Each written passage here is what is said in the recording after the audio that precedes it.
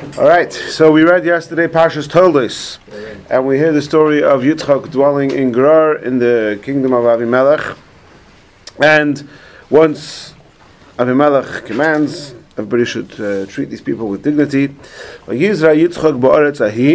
Yitzchak planted in that land, and he produced or he found in that land mea sha'arim, a hundred sha'arim. We'll see soon what that means. And Hashem blessed him.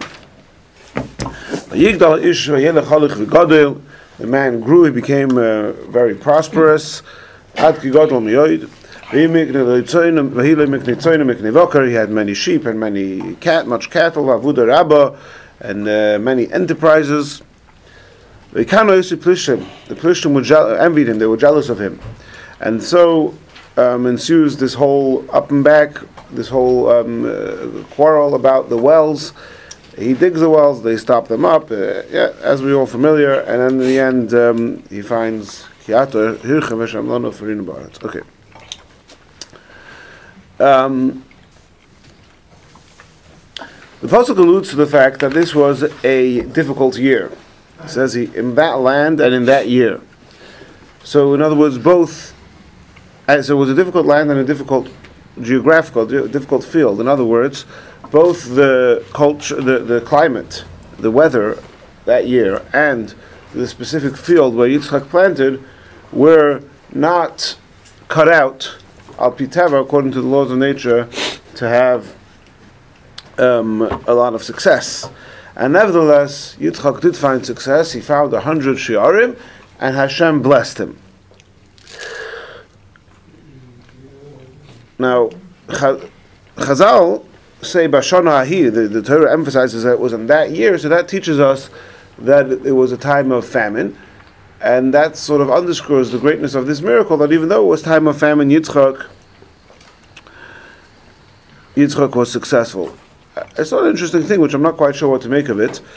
Um, and that is in Bavrom and Rambam, he quotes from the Rasag, which seems to be a Rasag in Pashas Bereshis, Psati Goin, and he says, you know how you know it was a bad year? Because Yitzchak was successful, because, all, sorry, because all the people, all the Pelishtim were, were, were arguing, were quarreling with him about the, the, water and the fields and everything. Like, why were they quarreling with him? Because he was the only person who was successful. Everybody else's fields didn't produce, and everybody else's waters wells were dried up. So that's what he says. I'm not quite sure what to make of it. First of all, because I mean, why is he inventing something new when Chazal already say Bashana Ahi that year? By the Torah emphasizing that year, it's coming to indicate to us that the year was not so good. But secondly, if you just read the parsha, it seems that the reason they were jealous of him is because of his success. Because he was successful, therefore they were jealous of him. So the fact that they were jealous of him doesn't necessarily mean that it was a bad year, that it was a year of a drought or famine. His success caused their jealousy. Anyway, whatever the case is, however we know it, the bottom line is this was a, a, a tough year, and nevertheless, um, and nevertheless, he was successful. And not only was the year tough, but the region where he was investing was also not really a worthwhile investment. It was a bit like Bitcoin. And he says, you know, you see later when they come and they t- tell him, uh, they, they, when they find water the first time, they, they say, is that also in Gerar? Well, they say that you we found the water, so it seems that it's a it was a it was a novelty to find the water. Anyway, um, okay. So what does Mea Sha'arim, hundred Sha'arim, actually mean? So, I think that there are five or six different interpretations over here, and um, two, two uh, I think three interpretations of the word Sha'arim translations, which then uh, develop into five interpretations or so of the pasuk. So let's start min hakal el hakovit. First of all, you have those Rishonim who say, I'm, usually we do Rashi first, but I'm specifically leaving Rashi to later because we'll have more insight into Rashi after seeing the background of some of the other commentaries um, as well. So, first of all, we have the, the some Rishonim, uh, the Ben Ezra and others who say that the word Sha'arim means like um, like units. So kind of like a measure, which is the third pirush, but basically that the field produced a hundred times what he planted. So let's say he planted uh, 10 pounds of kernels, and he produced a thousand pounds of kernels, right? He produced a hundred times what he planted. Now, is producing a hundred times what you planted really that big of a deal? So, a little bit of a Google search seems that it's not the biggest deal. I tried to figure out, you know, some places I saw, I saw in one place you could you could you could produce up to ninety times what you planted. So 100 is not that much more than 90. So some Farshim are not so cool with this, but I think that if you take this on the backdrop of it being a year of a famine, so in a normal, in, in a good year where, the, where, where it's, the rain is plentiful and you're in a good region of, of, of fields, so then 100 might be sort of on the higher end of the spectrum of what is to be expected. When you're talking about a year of drought and famine, so then having a hundred, uh, producing a hundredfold what you planted is considered a great blessing.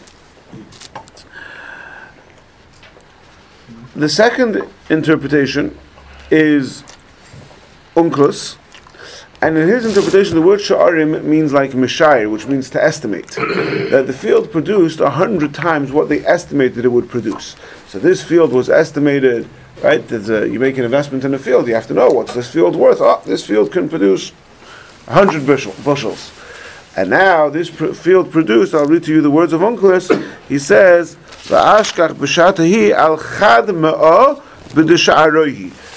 One, a hundred times, a hundred to one, of what it was valued at, of what it was estimated at. So, according to this interpretation, it didn't just get, produ- yield a hundred times what he planted; it yielded a hundred times what it was estimated to produce. That, of course, is a tremendous uh, miracle. Now, the Medrash. Yes. Now the Med, the Medrash says there's obviously many midrashim. They all say more or less the same thing in similar wording. Starts off by saying me'en me'akoyrim means a hundred koir. Now a koir is the big, the biggest measure that we talk about in, in field. You know nowadays we have pounds, kilos, uh, bushels, whatever. We have different units that we measure things in. So a koir is the biggest one. So the Medrash starts off by saying he found a hundred koirim, a hundred of these measures. And then it goes on to say what Onkelos says that the field produced a hundred times what it was um, estimated to, to that it w- was going to produce. So I think that we have here, even though the pirush, the, interpretation of the pasuk is the same as Onkelos, I think that in terms of the translation of the word, we have here a third translation of the word pirush. It's like a unit, a, a measurement, right?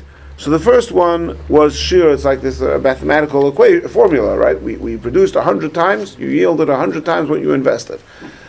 The second one was how uh, a hundred times what you was estimated, and the third one is a hundred a hundred, hundred kilos, a hundred pounds, a hundred kurt. But then the Medrash continues, and the Medrash says, why would they estimate how much the field is going to produce? There is a principle here. Sit down. There is a principle that ein habracha shoyra ela al davar hasamim min hoyin. That the bracha Hashem's bracha is only found in something that is not that is concealed from the eye, that is not counted.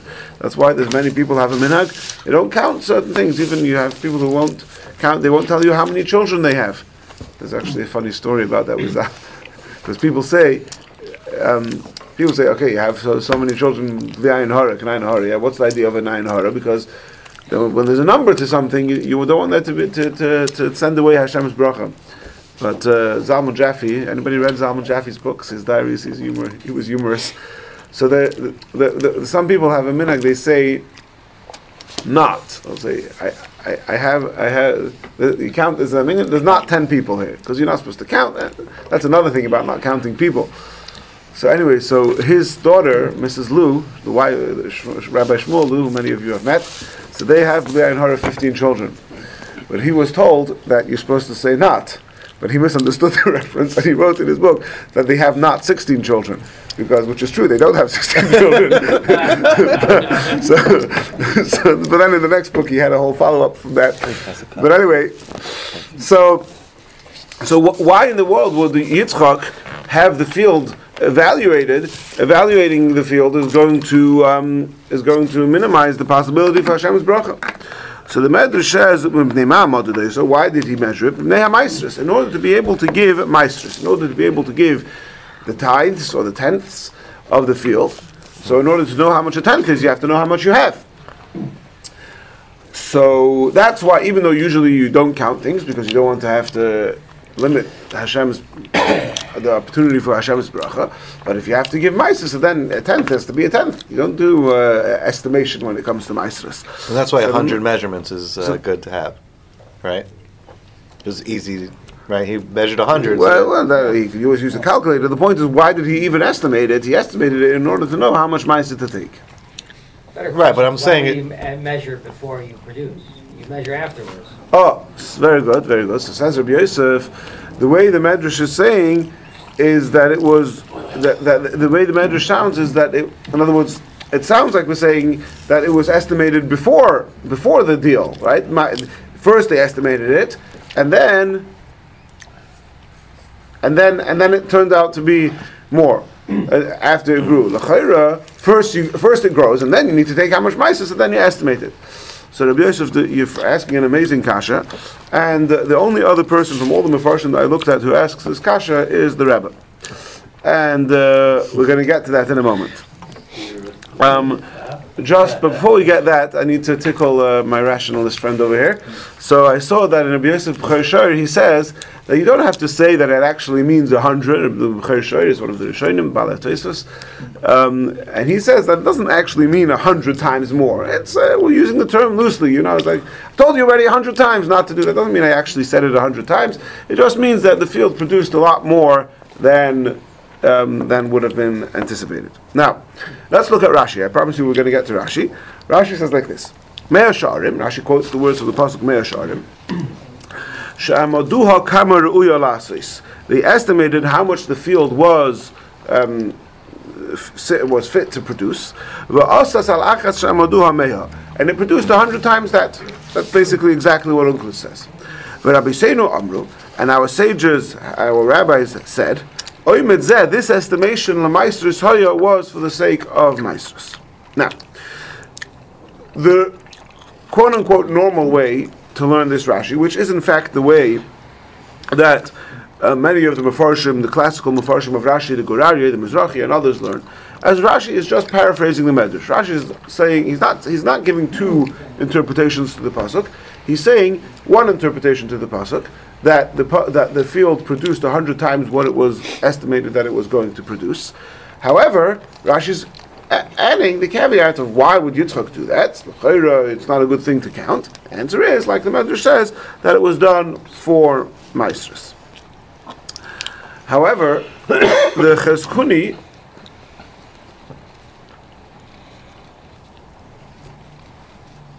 the Chizkuni says no. The Chizkuni says that when Rashi says Rabboseinu Omru Hoya, he doesn't mean to paraphrase the Medrash. He's actually adding another interpretation to the pasuk, and the Chizkuni doesn't say this, but the Rebbe says this. When the Rebbe, we'll see in a moment when we get to the one one of the Rebbe's. In other words, when you read this Rashi, Rashi says. Um, it made a hundred times what it produ- what it was set to produce, and then it- Rabboseinu Amru Oimed Zela Maestris Hoya. So is Rabboseinu uh, uh, Amru Oimed Zela Maestris Hoya a, a new interpretation to the pasuk, or is it just an explanation on the previous interpretation? So most Mefarshim understand that Rashi, just like the Medrash, is not giving a new interpretation, he's just explaining the previous interpretation. However, the words, the, the does not learn that way, and as we'll see soon, the Rebbe and the Kutasichus doesn't learn that way. And one of the one of the points that the Rebbe brings up is that when you, if you're coming, if if you're coming to explain what you've just said, then the grammatically correct way to write it would have been V'amru Rabboseinu. When you say Rabboseinu Amru, again in English they both translate as our rabbi said, but in Hebrew it depends which way you put the wording. Is it Rabboseinu Amru or Amru Rabboseinu? Amru Rabboseinu means that I'm about to say something which is going to add more depth or clarity to something I've already said. But the way Rashi says it, Rabboseinu Amru, is usually the way you introduce a new interpretation. So there is some implication in Rashi that there is a, a, a new interpretation about to come. And the Chizkuni says, the Chizkuni doesn't make this whole diak in Rabboseinu Amru, he just presents what he thinks Rashi means. And he says like this. The estimation that they made of this field was for Meiser. In other words, let's, let's, let's use numbers. They estimated the field would be a hundred bushels. So now, so the, in other words, they estimated that the Maisa would be 10. Right? Mm-hmm. That's how you normally learn it. Means no. What they est- when you say they estimated 100, that means they estimated that the Maisa would be 100. That's what Rashi means. Not that they estimated that the field would produce 100, they estimated that the Maisa would be 100, and that's what Yitzchak got a hundredfold of.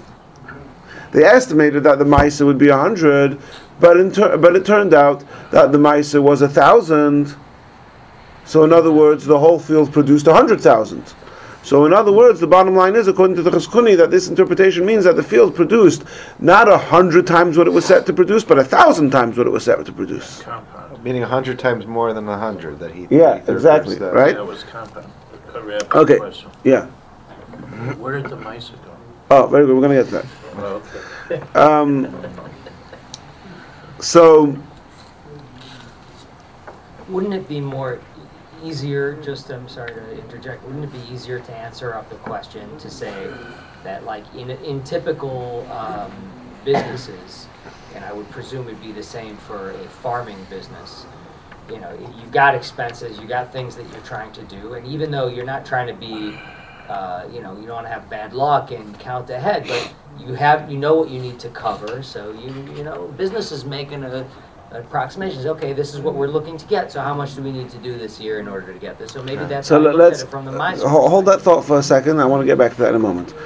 The way the, the, the way the Rebbe learns the way the Rebbe learns practice like this, and we're not going to get into the details of the Sikha here, but if you, uh, it's a beautiful, beautiful Rashi Sikha, which is so, it has all those qualities of a stereotypical Rashi Sikha with these sort of like obvious things that are staring you in the face and you don't notice them. But basically, the way the Rebbe learns practice is like this. Like Yosef said, after the field grew, that after it produced, finished producing, that's when they measured it in order to know how much ma'aser to give. And then, after Yitzchak estimated and had set aside the ma'aser, they suddenly found that miraculously the field, the, the produce had multiplied itself a hundredfold. So they had to increase the all. So we have to increase the ma'aser, which we'll get to later, right? But the, the, the, in other words, Rebbe started learning that this is Rabboseinu Amru is a new interpretation, which is midrashic. It's miraculous. It's not the normal way of learning Pshuto Shel Mikra, and that and, and why Taka? Why did Hashem make this miracle? Because He gave ma'aser. In other words, like we find the pasuk says. That if a person gives tzedakah and a person gives ma'aser, then Hashem gives you a bracha. And as we find here, Hashem, right away it says Hashem blessed him. Hashem blessed him with this miraculous multiplication uh, um, that, that, his, his his his produce multiplied itself times a hundred because. Um, because in the schus of him giving ma'aser. So the bottom line is we have five. Let's count how many perushim we have. First of all, we have the pirush that it means a hundred times what he planted. Then we have the pirush that it means a hundred times what they estimated it, it, it would it would give. Then we have the pirush of um, the B'chai that it just means estimated it produced a lot more, not a hundred, but a lot more than what they produced. Then you have the Pirush of the Chizkuni that it means um, it produced a thousand times what they estimated. And then you have the Pirush of the Rebbe that after it was after after the after, the measuring, that's when it multiplied itself times hundred. Now, what Yosef is asking now is like, okay, in but you also have to be realistic and responsible in business. So, if I understand correctly, and again, I can I haven't sort of learned and uh, examined the whole sikha properly, but if I understand correctly, the Rebbe's point in that sikha is precisely that. That's why you have these two interpretations. That the normal Pshutish Mikra interpretation is that even though Ein Bracha Motzim Al B'Dava Hasamim Min that the bracha you don't count things so as not to close the channels to Hashem's brachas, but business is business and you've got to count things. So that's the first interpretation. But then Rashi adds that if you want to take this idea, the, the, the, the idea of tzedakah to an extreme, so that after he, uh, uh, the, the, after he, after the, that we have the medrash, that afterwards it multiplied itself a hundredfold. Okay, the bottom line is whichever interpretation we accept, Yitzchak gave tzedakah, Yitzchak gave meiser, and Hashem and bless him with tremendous bracha, tenfold, a hundredfold, a thousandfold, whatever it is, right? What did he do with it? So, there's different sources which say different things, but I think the, the, simplest one we could say um, is brought in one of the midrashim. That he gave it to the poor people of that place. Now we find in Chazal that the word the Alter Rebbe brings in Tanya also a few times that the, the term planting ziru lachem is used for tzedakah. There's a pasuk ziru lachem tzedakah. So here when we say Yizra Yitzchak v'aretz hahi Yitzchak planted in that land, planting is synonymous for tzedakah. Yitzchak used this meiser to give tzedakah to the people of that land. Now, as we'll see soon, there's, a little bit of this um, overlap between Meiser giving a tenth of the produce of your field, which at least post Matan Torah in normal times is supposed to be given to the Kohen and the Levi, etc. And then you also have this giving your tenth of your earnings to tzedakah. Now, there is overlap between those two concepts. And one of the ideas is that you have to give Meiser it, it, when you're talking about produce, you have to give them, you have to separate the meiser in order to be able to, to, to, to use the rest of the produce.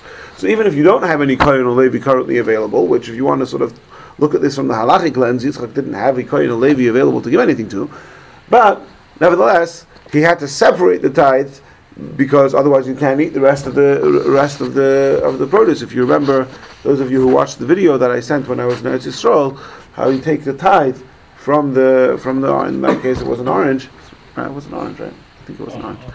Uh, yeah, it was an orange.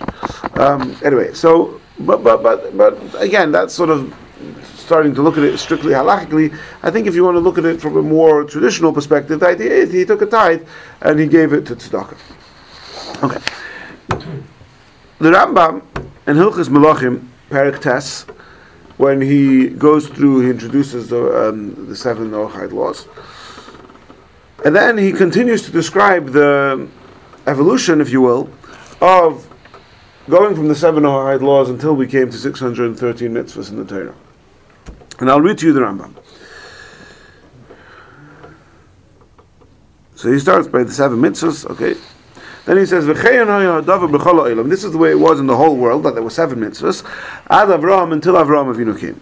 Ba Avram and Itzava Yasa B'mila. Avram came along and received the mitzvah of circumcision. Who is Palal Shachris? And he also instituted the mitzvah of davening Shachris.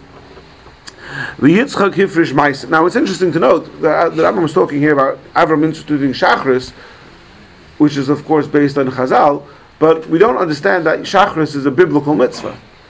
Right? Shachris is not a biblical, no biblical mitzvah to daven Shachris.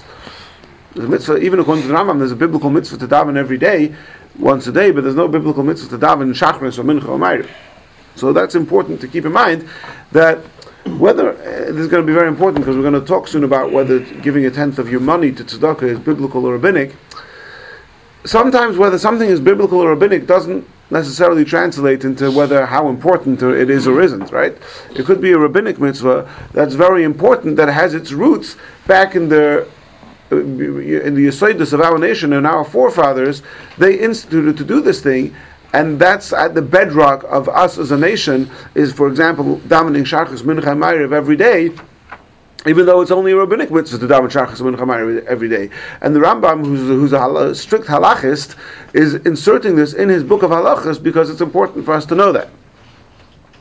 Yitzchak Hifrish Meiser, Yitzchak separated Meiser. Now, how do we know that Yitzchak separated Meiser? Like we just saw, doesn't say it explicitly in the Torah, but based on the medrash on this pasuk that the hundred sha'arim were there because of Meiser, so that's how we know that Yitzchak Hifrish Meiser. Yitzchak also added an additional prayer at the end of the day, which we call Mincha. Yaakov, Yosef Gid Hanosha.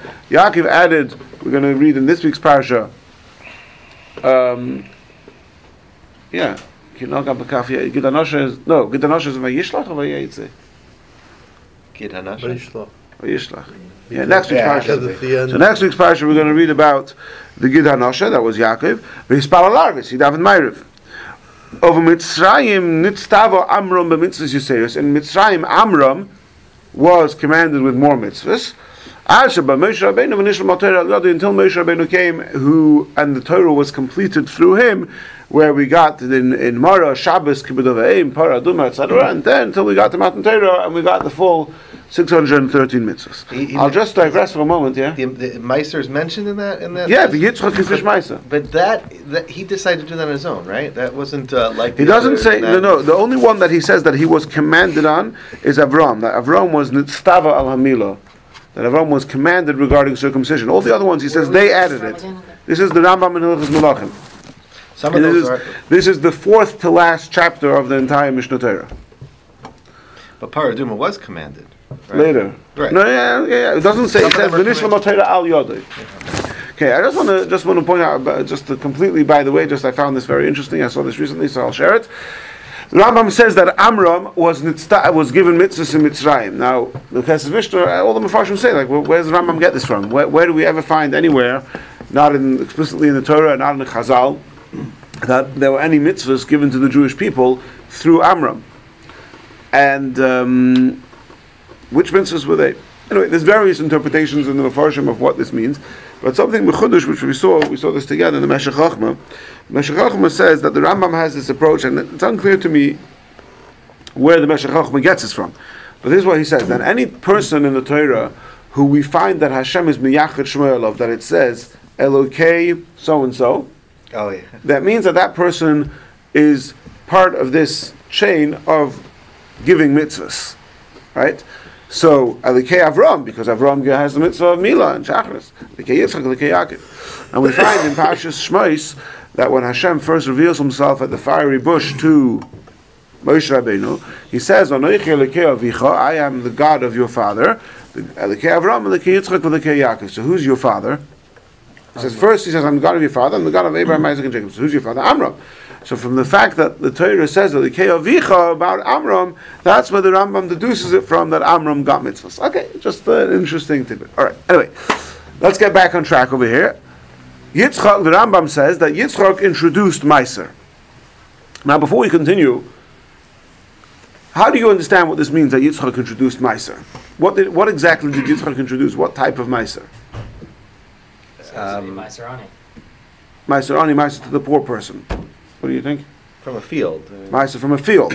Meiser of produce. So really, you're both saying that because Meiser only is also that you give a tithe from the produce to the poor people. Because Avram already did it, but he it was kind of. Hold on, hold on. We'll get to that in a second. So this is a story of Ruth and Boaz too.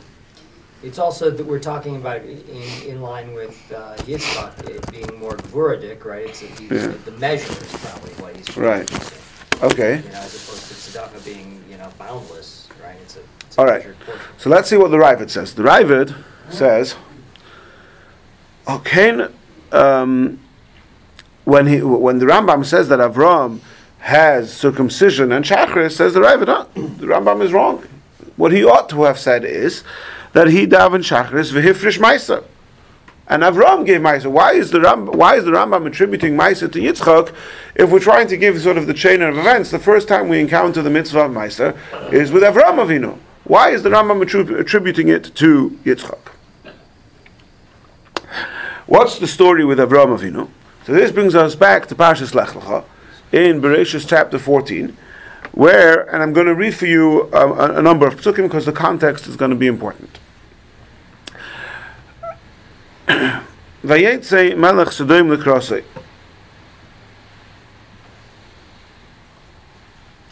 So the king of Sodom comes out to greet Avram after he returns from uh, the, the, ki- the battle with the four kings. Malki Tzedek Melech Shalim. Malki Tzedek, who is the king of Shalim. What's another name for Malki Tzedek? Anybody remember? The king of righteousness? No. No, Malki Tzedek. What, who, what, what, what, what other name is Malki Tzedek known Oh. by? Uh, Shem, no? Shem. Shem. Malki Tzedek is the son of Noach, who's known as Shem. Noach had three sons, Shem, Chom, and Yafet. So this is Shem, and he is Melech Shalim, and Shalim is otherwise known as. Yerushalayim. Right? He was the king of the city, which later became Yerushalayim. Hoitzi lechem v'yoyin, He brought out bread and wine. V'hu kohen le'el- keil elyon, He is a, he, meaning Malki Tzedek, is a kohen to Hashem. He serves Hashem. He's a representative of Hashem. By the way, we found also in last week's parsha that when when Rivka is concerned about her pregnancy, Hashem, she goes to seek Hashem, to seek out Hashem. Who does she go to? Rashi says she goes to the base of Shem Ve'eva, right? So we find that Shem, Shem is the representative of Hashem in this generation. He blessed him. Who blessed who? Shem blessed Abraham. Vayoymar, and he said, who said? Shem. Baruch Avram the Kelelim blessed is Avram to the exalted God, Koine Shemaim Va'aretz, who um, acquires heaven and earth.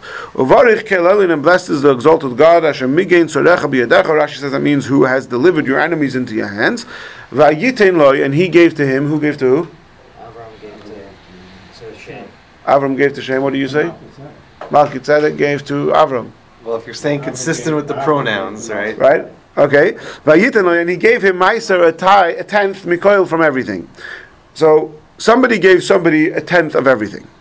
Okay. Vayoyim Melech Sodoim al Avram ten li anefesh v'achush kachlach. So then the Melech Sodoim says to Avram, um, give me the people back, and you keep all the spoils. You keep all the money. Just give me my people. This is Melech Sodoim. This is not Malki Tzedek anymore. Yom Avram Melech Sodoim. Avram says to Melech Sodoim, "I'm going to make an oath. I'm not taking anything." Famous oath. In Mechut Vatzrichnal, I'm not going to take anything. You shouldn't be able to say that you are the one who made Avram Avinu wealthy. I want everybody to know that I got my wealth directly from Hashem, not from you. Okay. So, who gave who Meiser? Now, if you're going to stick with the pronouns, right? Um, with all the he's over here are talking about Shem, Malki Tzedek. Malki Tzedek said, Malki Tzedek gave, Malki Tzedek gave, right? But the Torah never sticks with the problem. Oh, the Torah never sticks to the pronouns. now, another another point to ponder. If you say that it means Avraham gave a tenth to Malki Tzedek, what happened to the other ninety percent? I, well, uh, my well, Well, let's slow down. Just one second. It, it says he gave it. Let's let's let's let's let's hypothesize. Let's consider both interpretations. If it means that there's all this stuff over here, and Avram took a tenth of it and gave it to Malki Tzedek, wh- wh- where's the other ninety percent? he still has it. He still has it. But two psukim later, he tells the king of Sodom that I'm not keeping anything. Yeah. So that means he gave ninety percent to the king of Sodom and ten percent to uh, to the Cohen uh, Huh? to Malki Or Tzedek. the Aner Eshkol, he gives it to his. Uh, Yeah. Besides, he won't take anything besides the part, the, besides the part that he gives to Aner Eshkol and Mamre to the to the people who helped him. Like he's not, he's not uh, going to withhold from them their part. Okay. So, so, for those two reasons, it would seem to suggest that Malki Tzedek gave to Avraham a tenth, right? Because again, because of the pronouns, and also if, if he Avraham took kept nothing, Malki Tzedek gave him a tenth. Now we don't know if Avram then kept that tenth or gave that back to Shadaim also, whatever it is. But to say that Avram gave a tenth to Malki Tzedek, How does that make any sense? Malki Tzedek wasn't. What was he doing? Why would he be giving? He what does he have? Malki Tzedek doesn't have anything to give. Avram's got the stuff. Oh, oh, okay, very good, very good. So you're you're saying if if we're going to say it means Malki Tzedek, he gave him a tenth of what? What did he give him a tenth of? Okay. But now m- one second, Ma- Malki Tzedek, and if you go back at the at the psukim over there in in in, in one second.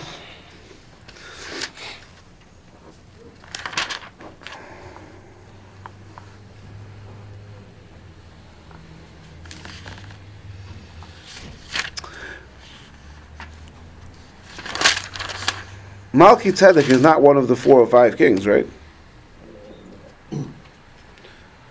So how? Uh, so not, it's not clear. I'm not sure exactly what his position was and how he. But but he's talking about the same stuff that. Um, right. Let me see. Yeah. Malki Tzedek, and uh, he was he was part of the Melech Sodoim's team, right? So, okay.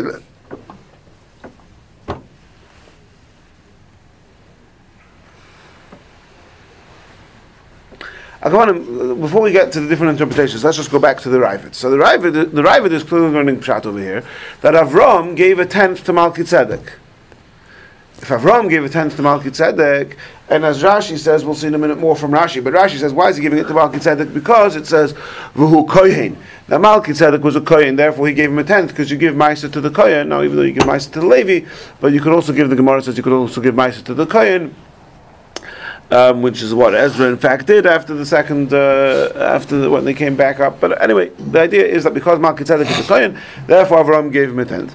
Says the Raavad, says the Raavad, oh, so why is Avram saying that Yitzchak instituted Maisa? Avram already gave Maisa. That's the Raavad's kasha on the Rambam.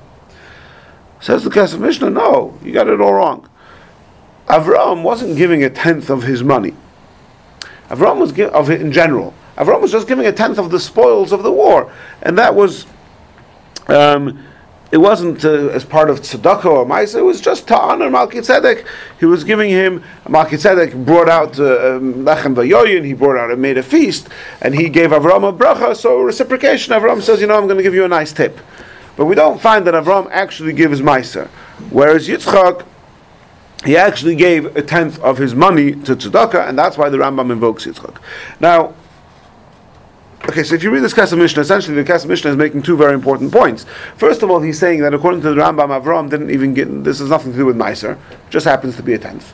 Okay, and number two, he's learning that Yitzchak's Meiser is not like you guys said that Yitzchak's Meiser was a tenth of t- a tithe of the produce. It was like giving a tenth, like you give Meiser from your money, right? Now I don't know where the Kesef Mishnah gets that from. It doesn't. Neither the Rambam nor the Raavad say that they're talking here about Meiser of money. They could both be talking about Meiser. Now, but, but if you say, if you say that we're talking about Meiser of, of, of Tvua, of produce, well then how does Avram come into the picture? We're not talking about produce, we're talking about spoils from the war. So there seems to be this sort of obscurity, or com, com- what's the word? Um, conflating the two types of Meiser, Meiser from produce and Meiser from money.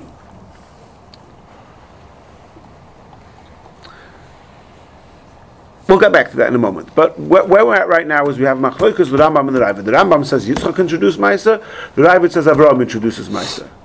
Now,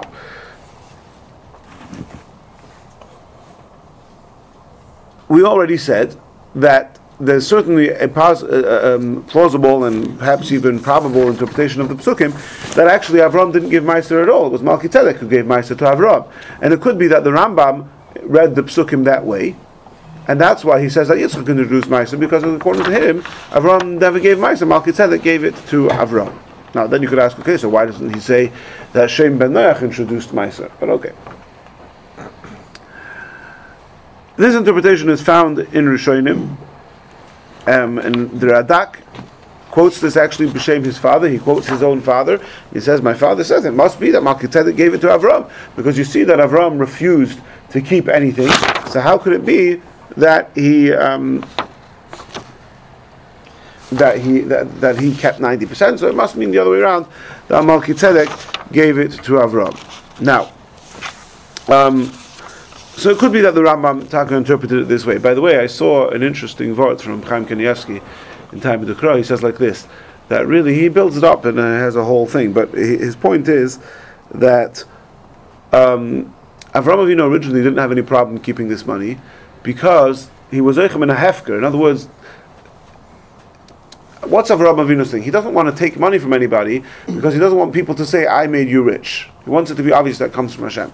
Now, the king of Sodom and his comrades, they abandoned all this stuff. They'd long given up. So it's all Hefker, and he took it all and he was planning to keep it. And that's why he gave the tenth to Malki Tzedek, because he was planning to keep it, and he's giving a tenth to the Kohen. But then the king of Sodom wakes up and he says, you know, ten li hanefesh v'rechush kachlach, give me the people, you could keep the money. Now, why is the king of Sodom telling him you could keep the money? Like, nothing is yours. You lost everything, and I got it. Now, everything is mine. The people is mine, the money is mine, everything's mine. So you should just say, ten li hanefesh, please give me the people. Why are you telling me, please give me the people, and oh, I'll be so, I'll be so kind and let you, Avram, keep the money. So as soon as Avram hears the king of Sodom talking this language, he's like, I want nothing to do with this. I don't want, of course, rightfully this money is mine and it was Hefker and it had nothing to do with the king of Sodom. But I don't want, I don't want you, I don't want you to be able to go around saying, oh, I'm the source of Avram's richness. Keep the whole lot. So, in other words, according to that interpretation, it's Taka Avram who gave the money to Malki Tzedek. Are you saying, what about the 90%? Yeah, at that point, Avram was still planning to keep the 90%. It was only later when the Melech Sodom rears his ugly head that Avram, Avram says, you know what, I want nothing to do with this. Now, the Lashon sounds very similar to Laman, to, to Lavan. It Yeah. very similar you know, uh, Yaakov got all these flocks and they multiplied and he's leaving. And Lavan, you know, it's mine. it's mine. Yeah, yeah, everything's mine. Bon and bon, everything's mine. Like, just like the, the, the, the dome. you know, Exactly, sure. exactly. Everything's theirs. Akbanim, So this in a very Words simple. This last, this last thing, this shot you're saying? that I saw in Taama D'Kra from Chaim Kanievsky. Um, so where we're at right now is we could have a very easy way to interpret the Rambam and the Raavad. The Rambam holds that Vayitul Emaisa Mikol means Malki Tzedek gave it to Avram. The Raavad holds that it means Avram gave it to Malki Tzedek, and that's why he holds Avram introduced Maisa, and he holds that Yitzchak introduced Maisa. Now, I'll tell you two other Perushim in the Pasuk that could also help explain the Rambam. This this um, so first of all, this is based. The, the, Chassam Sofer quotes this from the Zohar, and I see the Meshech also says this, but the Meshech doesn't quote the Zohar. So, I guess the, the Meshech probably didn't see it. He probably came up with it himself. But he says that Vayitan Leimoisam Mikhail doesn't mean Avram, and it doesn't mean Tzedek either. It says like this. You have to read the pasuk like this.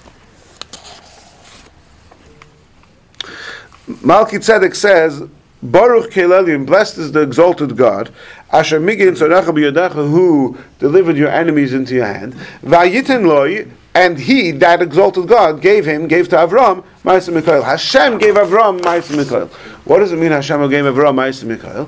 Because Hashem gave Avram the land of the seven out of the seventy nations that as a reward for Avram's Avodah Hashem, he gets the land of Israel, which is the land of seven nations, which is a tenth of the nations of the world. And the Chassam Sofer points out that there's a piyut, which we don't say this piyut, but maybe Ari does, I don't know who says it. There's a piyut in Shabbos HaGodl which says that Hashem gives the seven nations to Avram, kabas hanitelis is in the Chassim, like a daughter who takes a tenth of the the din is that when uh, when uh, if a father dies that the sons inherit it, but they have to give each of the daughters a tenth of the estate when they get married, and um, then he adds that the Zohar says. Um, the Zohar says that uh, no, maybe the Chasam Sofer himself, is saying this, that Hashem is telling you, I'm not going to give it to you like a daughter who takes a tenth, I'm going to give it to you like a Kohen who takes a tenth. And in fact, um, the Gemara Taka says that, the Pasuk says here that Malki Tzedek was a Kohen, but the Gemara says that Malki Tzedek was only a Kohen up until this point. At this point, Malki Tzedek made a big mistake. He said, blessed is Avraham before he said, blessed is God, and therefore Hashem confiscated the kahuna from him and gave it to Avram. And that's why Avram at this point became the Kohen, and that's why he got the tenth. Which may also be why, according to those interpretations, why Malki Tzedek gave um, Avram the tenth, because now he's the Kohen. Um, Why anyway, would he give it anyway? He doesn't have anything. who? Giving what? What is- Melchizedek what does didn't- Melchizedek wasn't have? involved in the battle, and he doesn't have the spoils. So it could so it could be that he does have some uh, some access to the spoils. It could also mean uh, I'm going to we're going to see in a minute Rashi. It could also mean that he just gave him a tenth of whatever, nothing to do with the spoils. He just he gave him he gave him a tenth. Okay, we'll see in a minute. That's what Rashi says. We'll, we'll, we'll get that in a minute. One second, one second, one second. I just want to say that according to this, um, we could say.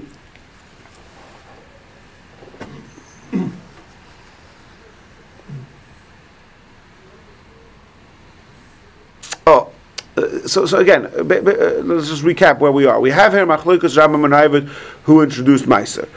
We have so far we've uh, we, we've we've I, I've suggested two ways to understand the Machlokas. One way to understand the Machlokas is who's giving to who. How do you translate the pasuk? Alternatively, we had the Kesef Mishnah who said no, Avram wasn't really giving Meiser. He was just whatever. He was giving him something. Yitzchak is the one who introdu- introduced Meiser, and I remember pointed out like. Where does the Kesef Mishnah get it from that Avra- Yitzchak is giving Meiser Ksofim, the he's giving Meiser of the produce?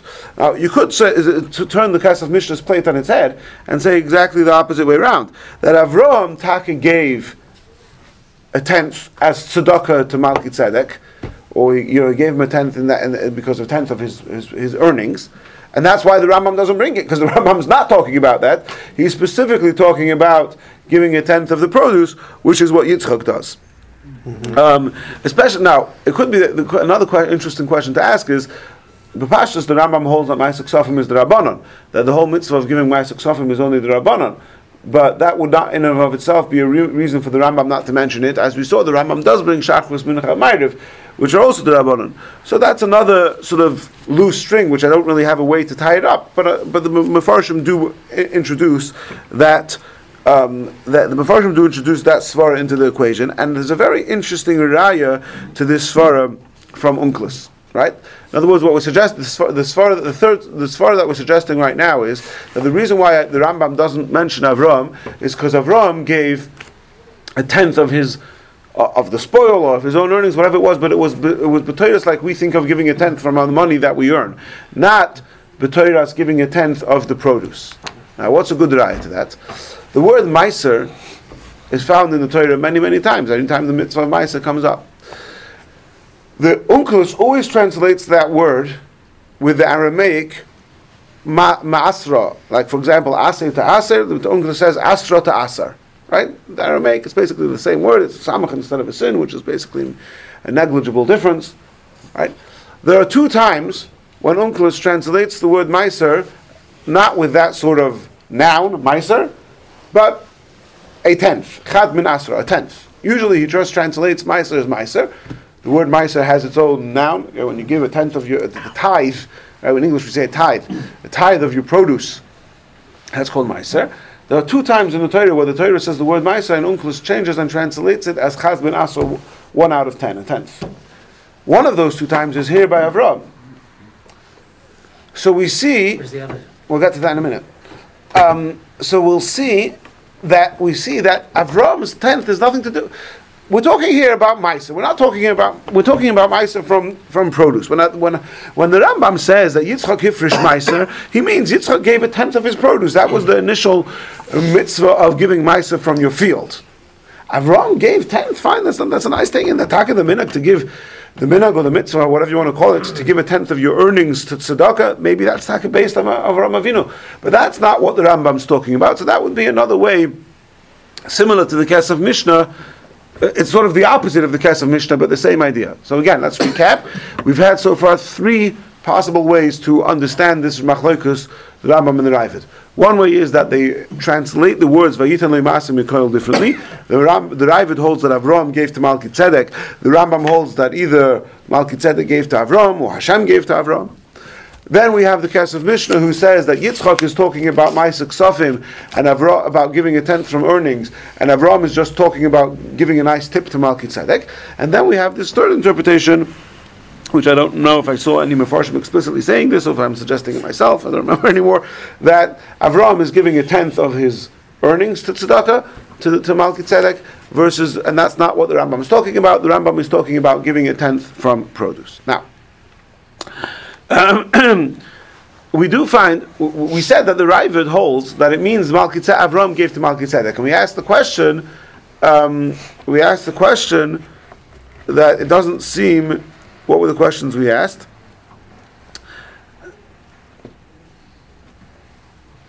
The Raavad holds that Avram gave to Malki Tzedek. So, oh, so one of the questions was that um, the main question that Radak brought from his father, right? That if Avram doesn't want to keep anything, so how, why is he giving a tenth? It's not much he's giving another ninety percent. So we saw Chaim Kanievsky has an interesting chiddush over there. But uh, going to the Rishonim, the Ramban and Rashi don't explicitly ask the question, but they seem to be um, anticipating the question. The Ramban says, Avram. Avram indeed didn't want to keep anything. However, chelik shesit l'koyin. Before he gives it all back to King of Sodom, he is duty bound to take that which belongs to God and give it to the kohen, which is God's. Like we said before, Shem the kohen is God's representative. Rashi So- says that. Ramban. Oh, Ramban says that. So Ramban, your, your friend, you're going to learn. You, oh, Ramban Lechelsville, you did. Yeah. You learned this Ramban. Mm-hmm. No. Well, I, I was going to give that answer. I didn't know where I got it from. okay, right? So that's what, like Mark said before. Yeah, yeah. Even if you don't have anyone to give it to, you have to be mafresh it. You have, you have to say, "Here, I'm going to give you everything back to the king of Sodom, the ninety percent I'm giving back." But before I do so, it's come to my possession. I have to take ma'aser from it. Rashi says something else. Rashi says, "Vayitan lo ma'aser mikoil." He gave him ma'aser mikoil from everything. What, what's this word from everything? Says Rashi, mikol. We're not talking here about the spoils. And L'chayra, Rashi seems to be anticipating this question. Avram didn't touch the spoils. He gave it all back to the king of Sodom. But now Avram has encountered Shem, and Shem uh, is the Kohen Lekeil Elyon, so he's giving the Kohen Maisa, he's giving him a tenth of his earnings. So uh, just uh, perhaps we could borrow Rashi's Svara, Yosef. You were saying Malkitzedek gives Avram, what does he have to give him? Maybe the same thing. Mikol Hashallah, he gave him a tenth of all his things. He, he finally meets Avram Avinu. Uh, I mean, it's not the first time they've met. Avram certainly had met Shem ben Noach before. But this was, they were meeting, and this perhaps for the first time in a while. And especially if you take on the, the Gemara that says that at this point Hashem confiscated the kahuna from Shem and gave it to Avram. So now suddenly the tables are turned, and Malki says, okay, now you're the Kohen. Okay, here's my bank account. I'm giving you a tenth. I did actually find important to note before we move on to the next um, to Yaakov Avinu um, is that there's a medrash in Psikta Rabbah that says that Yitzchak gave when it says um, one second. That, that, sorry, that says when Avram Avinu gave Ma'aser Mikhail, it means Ma'aser Rishon. Ma'aser Rishon means the first tithe that you give from the produce.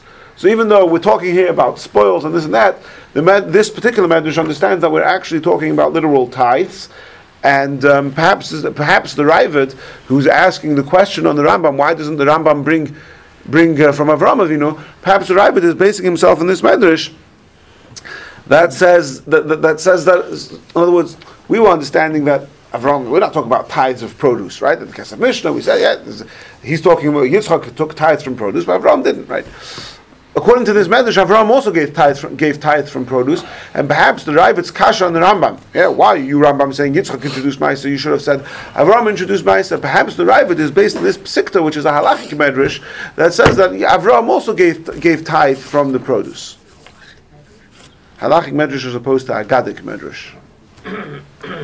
All right. Meaning it wasn't the, the bound, it wasn't the spoils of war, Yeah, yeah. according to this. Al Kapanim, where we're at until now, we have, whether you hold like the Rambam or the Raavad, we have both Avram and Yitzchak giving tithes. Whether they're giving tithes from the produce, or they're giving tithes from the earnings, or from the spoils, different perushim. And then we come to this week's parsha. And this week's parsha and today's chitas, we learn in Parshas Vayetze that Avram makes a vow. Yaakov. Yaakov, sorry, makes a vow, thank you.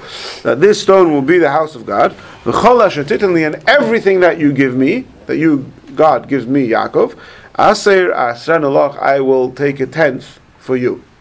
Now, before I move on, I just want to I I want to share something which occurred to me yesterday.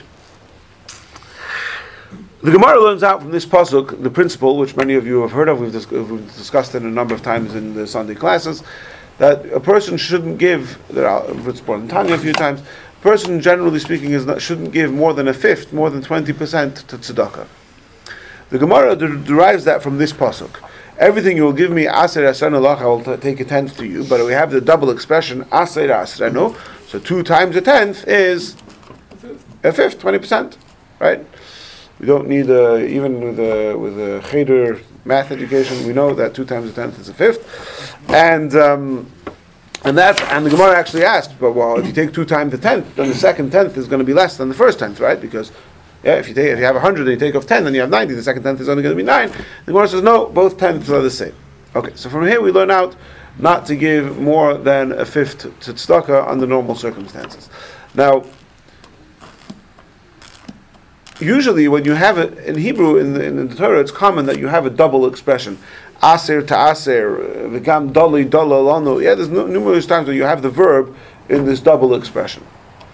Now, always the trup, the tune of the words, is going to put those two words together, right? V'gam dola dola lanu. Right when Moshe Rabbeinu drew, draws the water for the daughters of Yisrael, has that double expression. V'gam alonu, daloi dalo goes together, right? Um, aser to aser is called to what? Right? Aser to aser goes together.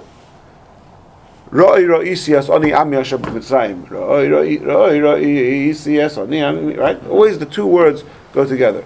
Here, there's an exception, and it's very noticeable because it's the end of the aliyah. So, and this, I noticed It's this yesterday. by zakeh me. It's here. It's a tipcha mercha.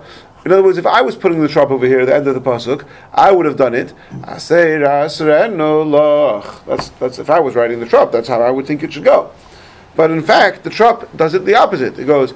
If you're listening to laning, and it's very obvious because it's the end of the aliyah. Yeah.